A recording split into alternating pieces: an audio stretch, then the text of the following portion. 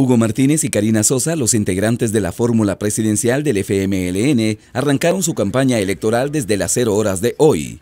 Entre las actividades que hicieron, tuvieron una alborada en los alrededores del monumento al Divino Salvador del Mundo. Dimos el banderillazo de salida anoche a las 0 horas, hoy a las 0 horas. Y ya nuestra militancia se está movilizando a nivel nacional. Y ahora también con Karina iniciamos actividades de campaña en diferentes puntos de San Salvador que estaremos recorriéndolo, que estaremos hablando con la gente, estaremos saludando a la gente.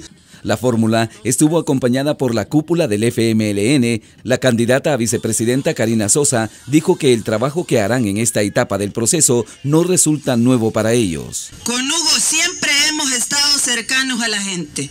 Nos hemos dirigido a ellos con un contacto directo, con un estrechar de manos, con una conversación, con un escuchar acerca de las situaciones que le inquietan a nuestras comunidades, a la familia y al país. Ahora lo vamos a hacer con más, con más intensidad y con mucho más compromiso, pero no es algo diferente de lo que hemos hecho. Sosa, además de candidata, es diputada y dijo que solicitó permiso sin goce de sueldo para dedicarse al inicio de la campaña, pero que el lunes próximo volverá a la Asamblea y que después de resolver temas pendientes informará sobre su permiso definitivo. Con imágenes y reportes de Melissa Pacheco, este es un informe de la